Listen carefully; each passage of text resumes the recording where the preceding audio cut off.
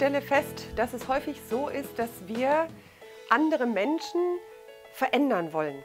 Wir wollen sie so biegen und kneten und drücken, dass sie dem Bild entsprechen, was wir von ihnen haben. Wir geben ihnen gute Ratschläge. Wir überreden sie zu manchen Dingen. Und immer steht dahinter, du bist nicht so richtig, wie ich das haben möchte, aber, und dann fangen wir an mit diesem an ihnen kneten. Mir ging das oft so in Bezug auf meine Kinder, dass ich dachte, ich müsste sie so und so bearbeiten, dass sie dann richtig wären. Aber ich habe erkannt, dass das nicht das ist, was der Herr möchte.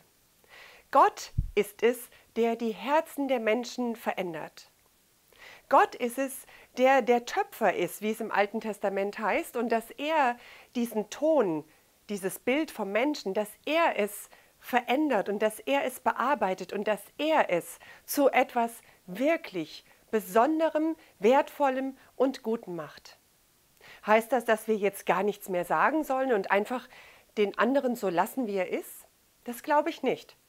Ich glaube vielmehr, dass wir uns darauf stützen und darauf stellen sollten, dass wir für den anderen beten, dass wir ihn segnen, dass wir das, was Gott über den Menschen sagt, einfach proklamieren, dass wir den Segen Gottes aussprechen und dass wir den Menschen selbst loben. Wenn du Kinder hast, dann lobe sie für die Dinge, die sie tun.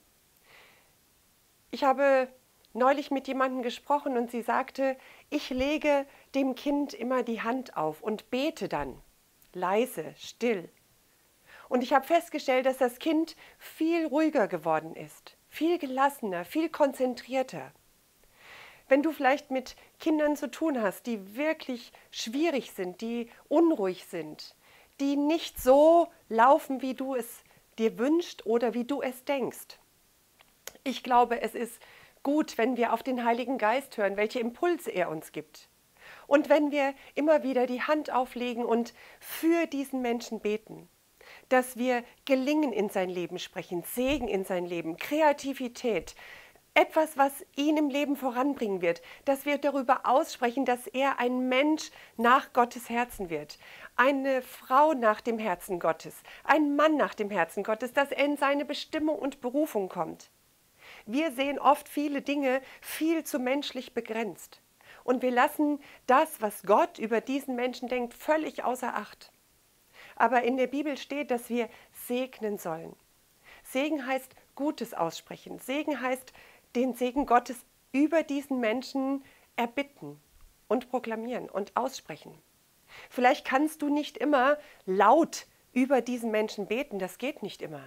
Aber du kannst deine Hand auflegen und du kannst im Stillen Gottes Segen, seinen Schutz, seine Veränderung, eine Herzensbekehrung für diesen Menschen erbitten und erbitten. Ich wünsche dir einfach, dass du in dem Bereich, gerade wenn du Kinder hast oder wenn du mit Kindern zu tun hast, vielleicht in deiner Verwandtschaft, vielleicht in dem Freundeskreis, dass du die Chance nutzt, für diesen jungen Menschen, für dieses Kind zu beten dass es eine Erfahrung mit Jesus macht, dass es Jesus kennenlernt.